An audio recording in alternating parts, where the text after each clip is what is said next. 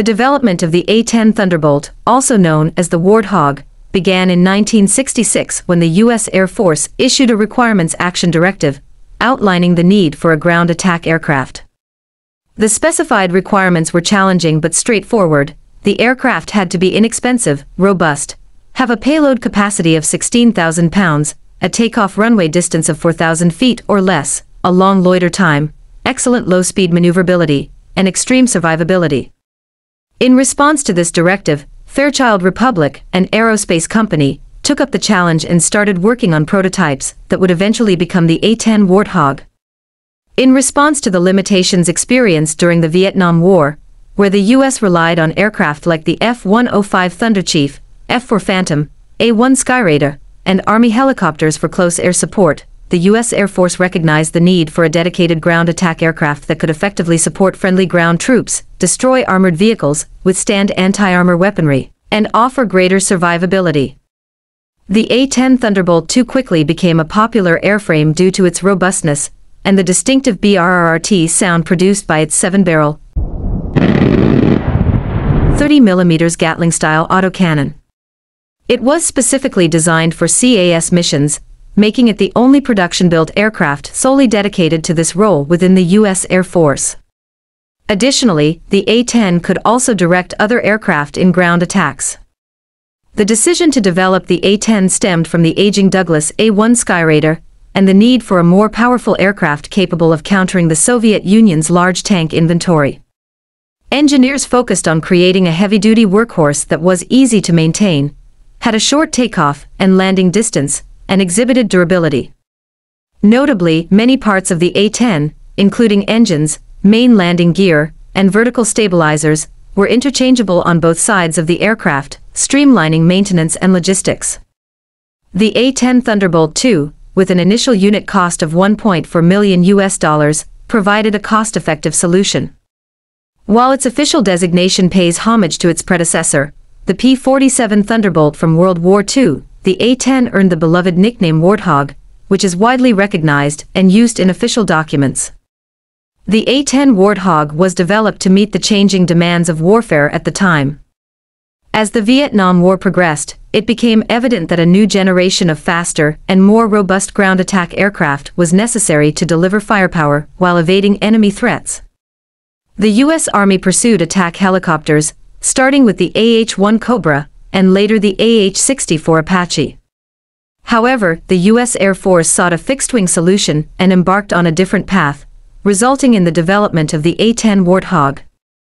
The A-10 Thunderbolt II, commonly known as the Warthog, serves not only as a ground attack aircraft, but also fulfills the role of a forward air controller, FAC, for directing other attack aircraft in ground supporting roles, referred to as OA-10. Its unique design sets it apart and enables it to excel in its missions. The A-10's design is tailored to its mission requirements. It features a large wing area, substantial left and right ailerons, and a high wing aspect ratio, all of which contribute to its exceptional maneuverability, particularly at low speeds. The aircraft is nearly as long as it is wide, with a wingspan of 57 feet 6 inches and a length of 53 feet 4 inches. The combination of its wing design, wheelbase, and oversized turbofan engines allows the A-10 to operate from shorter and more primitive airfields, enabling it to land closer to the front lines of battle. The airframe is constructed with a honeycomb structure, which reduces weight while enhancing strength, enabling the A-10 to fly longer distances to engage targets. Additionally, its cockpit features a bubble canopy that offers a 360-degree view of the battlefield.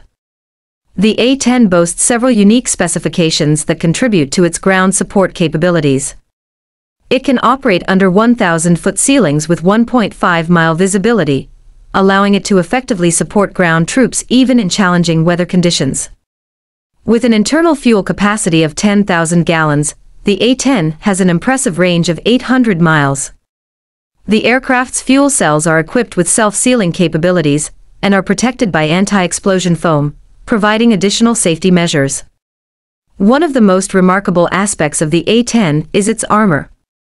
The skin of the aircraft is not structurally significant, and damage to it does not compromise the heavily reinforced airframe.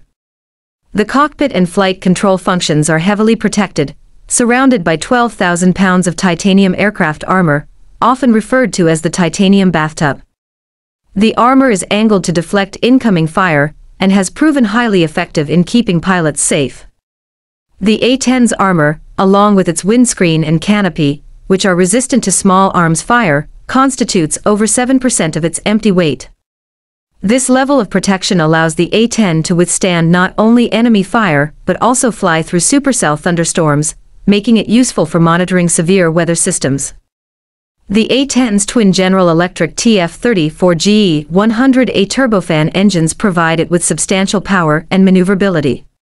These engines enable the A-10 to reach a top speed of 439 miles per hour, with a cruise speed of 300 miles per hour. Remarkably, the stall speed of the A-10 is relatively low for an aircraft of its size, at 138 miles per hour, contributing to its exceptional low-speed maneuverability. The engine placement on top of the wings, rather than below, helps protect them from potential damage caused by foreign objects on primitive runways. This design choice facilitates quick maintenance and turnaround times during battle, as the engines can continue running while receiving support in forward locations. The A-10 Thunderbolt II features various paint schemes tailored for camouflage during low-altitude operations. These schemes include variations such as a peanut scheme of sand, yellow, and field drab, a black and white version for winter environments, and a brown, green, and tan version. Many A-10s also bear distinctive markings, such as shark teeth, or a warthog head painted on the nose of the aircraft. Some aircraft even employ a false canopy painted on the belly to confuse enemy pilots by mimicking the shadow cast by the real canopy, potentially misleading them about the aircraft's direction and altitude. In terms of survivability and quick repair, the A-10 incorporates double redundant hydraulic systems, ensuring operational control in case of hydraulic failure. Damaged wing skins can be easily replaced in the field, even using alternative materials, as the production skins are not load-bearing. The landing gear, engines, vertical stabilizers, and other parts are interchangeable between the left and right sides, facilitating expedited servicing and faster return to combat operations compared to other aircraft. The A-10's endurance and capability to overcome natural obstacles contribute to its all-weather, all-day operational capacity. Equipped with night vision imaging systems and a goggle-compatible seat in the cockpit, the A-10 can effectively operate during low-light conditions. The A-10 Warthog is equipped with a wide array of weapons that make it a formidable ground attack aircraft.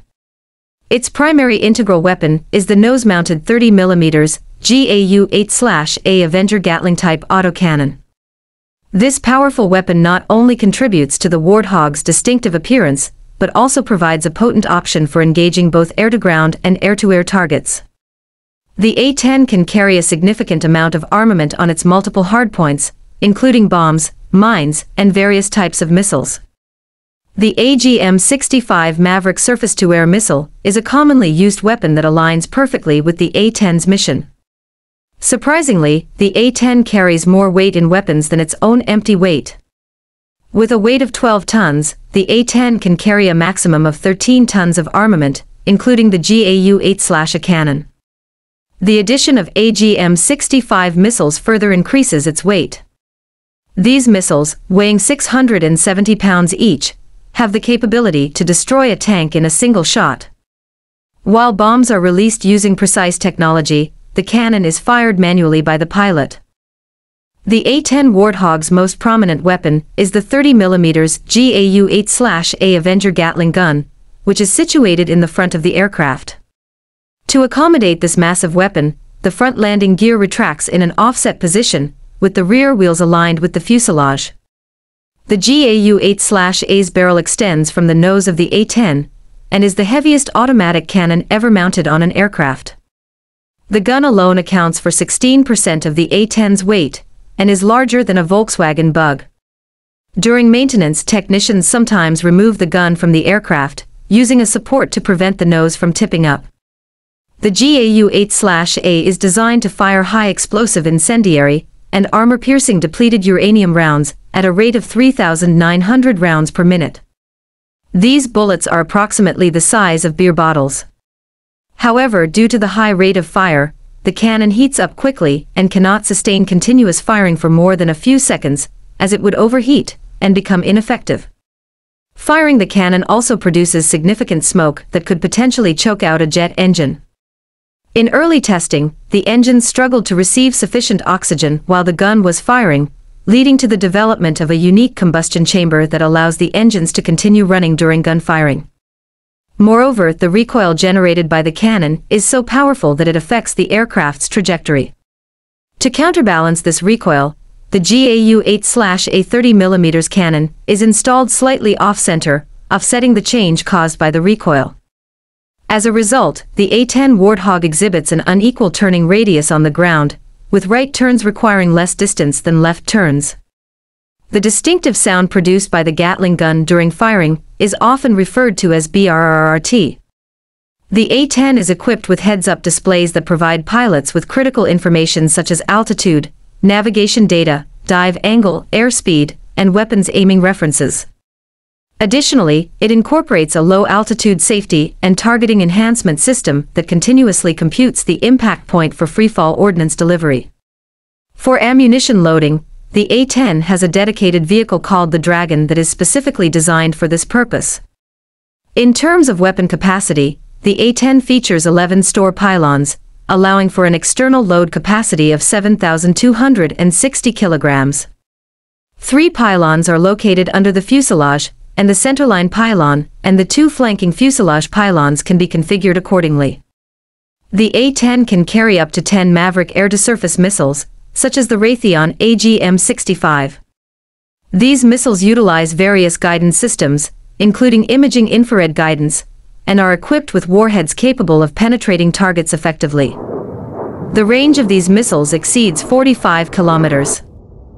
The aircraft is also capable of carrying Sidewinder air-to-air missiles, 2.75-inch rockets, and a wide range of bombs, including low-slash-high drag bombs, general-purpose bombs, cluster bombs, combined effects munitions, mine-dispensing munitions, and laser-guided slash electro-optically guided bombs. The Northrop Grumman Litening ER targeting pod has been integrated successfully on the A-10, providing enhanced targeting capabilities with its thermal imager, CCD-TV, laser spot tracker slash rangefinder, IR marker, and laser designator. The A-10's most prominent weapon remains the General Dynamics GAU-8-A Avenger 30mm cannon, mounted in the aircraft's nose. With this cannon, the A-10 can disable a main battle tank from a range of over 6, 500 m. The cannon fires a range of ammunition, including armor-piercing incendiary rounds weighing up to 0.75 kilograms, or uranium-depleted API rounds weighing 0.43 kilograms. The magazine can hold 1,350 rounds of ammunition, and the pilot can select a firing rate of either 2,100 or 4,200 rounds per minute. The A-10 Warthog is powered by two TF-34 GE-100 non-afterburning turbofan engines, manufactured by General Electric. Each engine provides 9,065 pounds of thrust. The engines are positioned high on the fuselage, which allows the pilot to continue flying the aircraft even if one engine becomes inoperable. In terms of performance, the A-10 has a standard range of 800 miles, 1,287 kilometers, and a maximum speed of 420 miles per hour, Mach 0.56. It is capable of reaching altitudes of up to 45,000 feet, 13,636 meters. The A-10 Warthog has a long history of combat experience and has proven its effectiveness in battle. It first saw real combat during the 1991 Gulf War, where it played a crucial role in providing close air support to coalition forces. During the war, A-10S destroyed numerous Iraqi tanks, with two aircraft destroying 23 tanks in just three sorties. This display of firepower led some Iraqi soldiers to refer to the A-10 as the Cross of Death, owing to its distinctive appearance from underneath, resembling a cross. Throughout the conflict, the A-10 Warthog achieved a mission-capable rate of 85% and fired a staggering 311,597 rounds of 30mm ammunition. Despite the hazardous missions flown, only one A-10 was shot down by the enemy. The A-10 has continued to prove its effectiveness in subsequent conflicts, including the ongoing war on terror in the Middle East and Afghanistan. As of 2015, the A-10 Thunderbolt has flown approximately 11% of all United States Air Force sorties against ISIS in Syria and Iraq, though this represents a decrease from its involvement in previous operations such as Operation Iraqi Freedom and Afghanistan, where it accounted for about 32% of combat sorties in both theaters. In addition to its combat role, the A-10 has also participated in notable missions, such as the rescue of a downed F-117 pilot in Kosovo in 1999. During this operation, an A-10 provided ground support while three helicopters executed the rescue mission. Despite its proven track record and accolades, the future of the A-10 Warthog remains uncertain. The aging nature of the fleet has raised questions about its sustainability, particularly as unmanned drones are increasingly being used in ground attack and close air support roles. There have been discussions about potentially having the F-35 Lightning to assume many of the functions currently handled by the A-10. However, this proposal has faced opposition within the U.S. Air Force, complicating any decision-making process. While there are no definite plans for retirement at present, the future of the A-10 Warthog is uncertain, and its days in service may be numbered.